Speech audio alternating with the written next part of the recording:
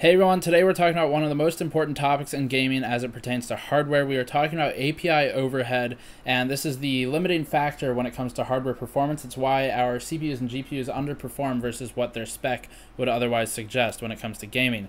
APIs are things like DirectX 11, DirectX 12, and AMD Mantle. There are all kinds of APIs out in the world, but specifically for gaming, these are the three we're talking about today. An API is an application programming interface. In the case of DX11, 12, and Mantle, it is what enables game developers to hook into the hardware and the operating system of the host computer. This makes their lives easier for programming, and it even enables things like better backwards compatibility on hardware when you're playing older games.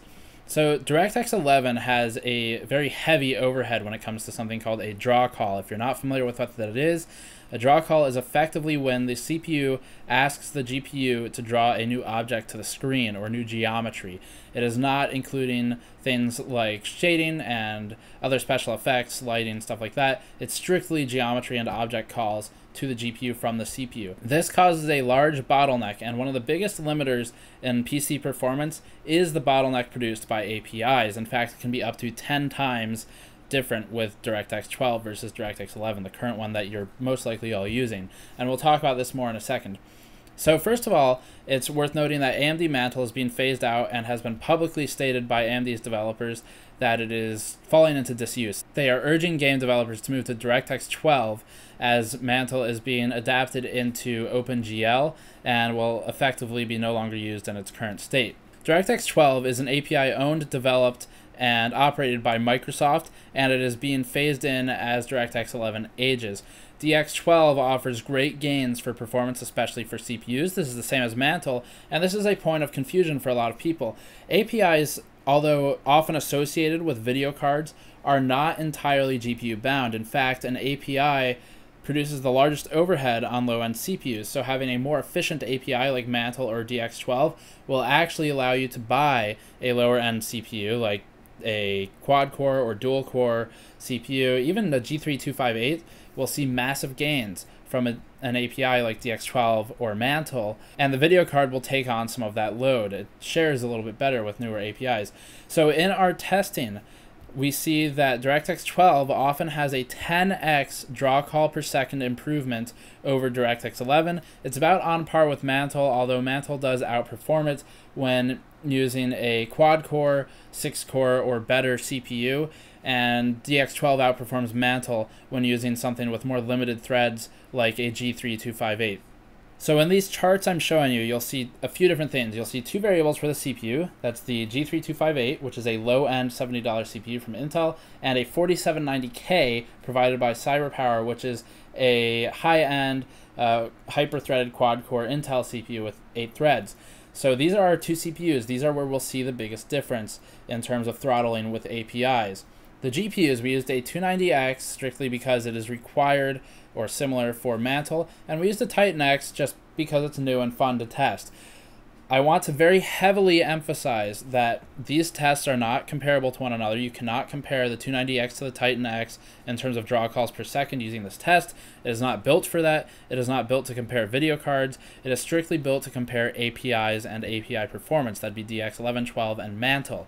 So although one video card may outperform the other in some tests, you really can't look at it that way uh, for various reasons. And one of the smaller ones is that none of this is really finalized yet. It's all still in development. The other one is that this test was built to test APIs. That disclaimer stated what we're looking at here are draw calls per second. So the draw calls per second will slowly stack up in the test as the CPU and GPU get loaded. And once the frame rate finally drops below 30 FPS, you will see the the, the test stops. So once it hits 30 FPS, it's concluded and the results are in. So we count the number of draw calls made in the thousands and millions and then uh, and then put that in these charts. So what you're looking at is the draw calls per second made by each API, and it is measured in thousands here. So if you see the number uh, 712, that's 712,000, and likewise for the items in the millions. So with DirectX 12 and Mantle, we're often using a 4790K, hitting in excess of 14, 15, 18 million draw calls per second using the newer APIs.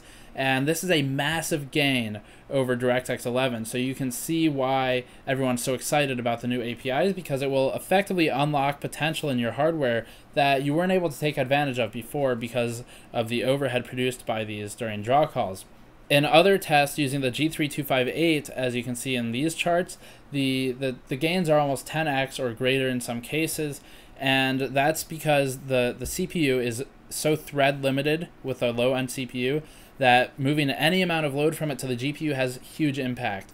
So the takeaway here is that DirectX 12 is very important to the world of gaming. Mantle is dead. Forget about Mantle. It's shown here for comparison purposes with the other APIs, but it will effectively be de defunct by the time DirectX 12 ships. No game developers uh, that are noteworthy are using it going forward. It is being deprecated. DirectX 12 is critical to the advancement of hardware utilization, and you can see that in these results. Pretty exciting stuff. If you want to run this test yourself, you can check out our article linked in the description below. I ran the whole test. I described some very brief technical detail on how draw calls work and where the bottlenecks are and how you can run the test yourself. You need to use Windows 10 Preview. So that is all for this test. Please check out the channel. Subscribe if you like this content. We're getting heavy into the hardware analytical content these days, so we want you coming back to check it out. Really helps us out if you subscribe, and I will see you all next time.